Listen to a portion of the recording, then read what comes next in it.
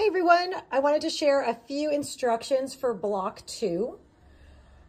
The first step on block two, which you're gonna find the instructions on page six of your pattern. Me move that over here really quickly. The first step here is just talking about making half square triangles. So that's pretty straightforward and I believe we have another video on it. But what I wanted to talk to you about is step two here, how we are going to attach the triangles to our center square for this block. So I just wanted to point out what I've done.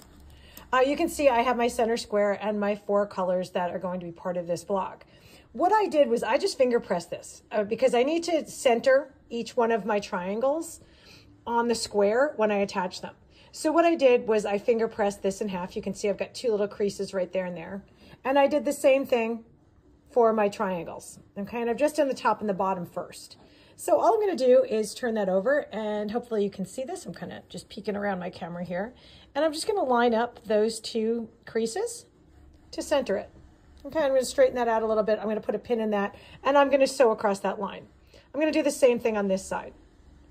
Once I've done that, I'm going to press these out okay, so away from my light center, and I'm going to trim along each side here to get rid of those little tails. So I'll come back to that once I have gotten to that point. Okay, and poof, I have my two triangles sewn to my center square, and I'm gonna, and I've also trimmed off the edges. Now, again, I folded these two in half and I finger press, which is a little bit harder to see here um, if you're, but basically there's a little fold right there and there's a fold in my fabric right here as well. So what I'm gonna do is line those two up, right sides together, and I will sew that seam and I'll do the same thing on the other side. Okay, so um, that is how we do step two of this block. And step three is really pretty self-explanatory. If I bring the book in into view here, you can see you're just taking that, uh, that middle unit that we're creating below the book, and you're gonna add the half square triangles and the squares uh, following the diagram on page seven of the book. Okay, if you have any questions, don't hesitate to reach out or you can stop by the block of the month support group, which is on the second Thursday from five to eight or the second Saturday from 9 to 12. Just let me know you're coming. Email or call. Thanks. All right, and poof, I think I thought I was finished in my last video, but that's okay.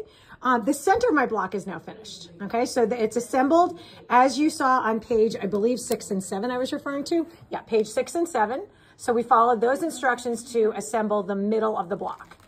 Now you're gonna take that middle and you're going to turn to page 29 using the information that you, um, you or using the blocks that you created in month zero, let's just move over here. You are now going to use your setting triangles and your cornerstones to assemble the, the rest of the block. Okay, so block two begins with what was on page six and seven.